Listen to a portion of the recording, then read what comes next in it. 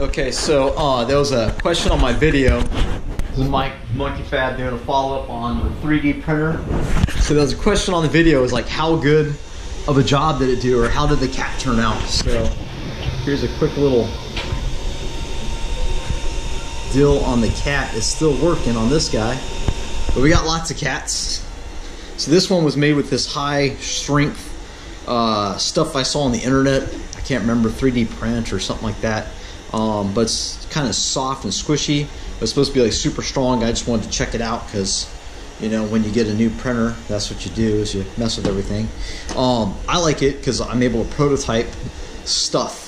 Uh, so I'm able to make stuff in my car and then go check it and then know, hey, this is what I need to make on the machining center or not.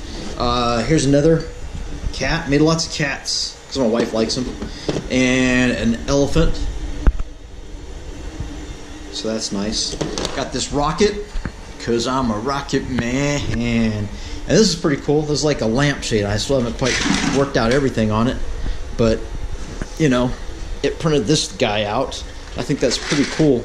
It just uh, folds in and out, and with a light bulb, it looks pretty cool. But I think you need to use like obviously like some kind of LED or something, which I just don't have to stick in there but uh, we'll get that done. So overall, um, I'm super happy with this 3D printer. It's uh, I, you know I've been using it for like a week now, and it's it's just real easy to navigate once you got things figured out. You know like how to turn an STL file into the uh, G code file.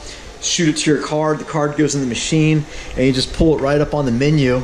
The menus are really easy to use. There's like a thousand videos of this stuff, but I just want to let you know on my experience that, hey, I'm pretty happy with this printer.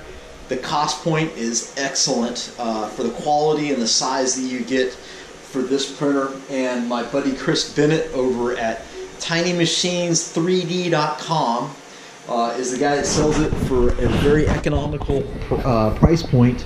He also uh, provides great customer service and does a good job of getting the machines all ready to go and, and send. So give him a shout out, give him a look up. Uh, I'm happy with mine. You probably should go get yours. Thanks.